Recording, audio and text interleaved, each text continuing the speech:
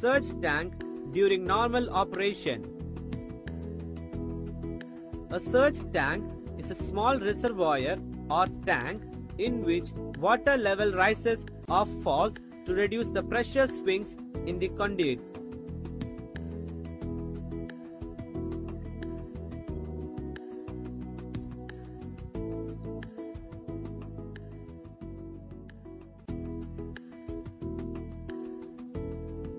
When the turbine is running at a steady load, there are no surges in the flow of water through the conduit. That is, the quantity of water flowing in the conduit is just sufficient to meet the turbine requirements.